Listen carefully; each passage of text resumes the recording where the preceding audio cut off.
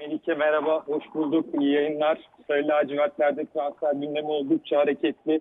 Biz de mümkün olduğunca yaşanan gelişmeleri izleyicilerimize aktarmaya çalışıyoruz. Bu doğrultuda yeni bir haber paylaşacağız. Fenerbahçe Zaha ile ilgileniyor bildiğimiz üzere. Zaha ile ilgili bir karar bekleniyor ama tabii ki Zaha'dan gelecek karara göre e, alternatiflere de bakılıyor. Alternatif isimlerle görüşülüyor. Fenerbahçe oraya çok iyi bir isim takviyesi yapmak istiyor. Bu doğrultuda e, Zaha'nın alternatifi olarak iki adaydan bahsedeceğiz. Bunlardan bir tanesi Karl Toko Ekambi, Lyon forması giyen 30 yaşındaki sağ ayaklı oyuncuyla ilgili Fenerbahçe girişimlerde bulundu.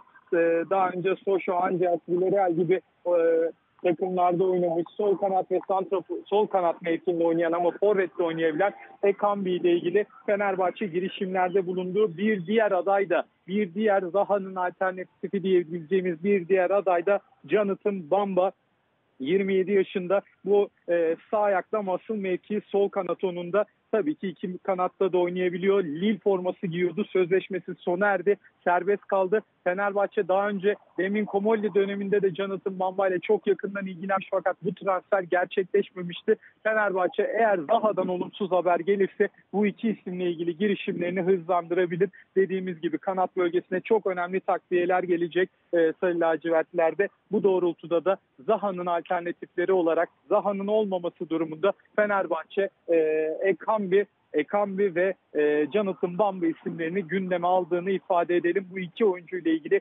girişimler gerçekleştirdiğini ifade edelim. Transfer gündemi çok hareketli Melike. Livakovic'te artık sona geldik. E, kulübüyle çok ufak pürüzler, e, pürüz demeyelim hatta detaylar kaldı diyelim. E, bu detayların giderilmesinin ardından bu detayların giderilmesinin ardından orada da mutlu son bekliyoruz. İsmail Hoca basın toplantısının ardından Beka transferini doğruladı. Beka transferinin bittiğini ifade etti. Zaten bu gelişmeleri daha spor ekranlarından paylaşmıştık. Mert Müldür yine e, çok çok sıkıntılı bir durum söz konusu değil. Sonraki satıştan pay konusu var. Birkaç görüşme içerisinde o transferin de mutlu sonuna bitmesini bekliyoruz. Fenerbahçe birçok transferi tamamlamak istiyor. Birçok transferi bitirip sezona hızlı bir şekilde hazır hale gelmeyi hedefliyor Sarı lacivertliler. Bu doğrultuda da tabii ayrılan oyuncular da oluyor. Bir önceki saat diliminde Atilla Zalay'ın ayrılığını verdik. Ee, Alma, e, Macar oyuncu Fenerbahçe'den ayrılacak Almanya Bundesliga Ligi'ne gidecek. Hoffenheim ve Union Berlin'den bir tanesini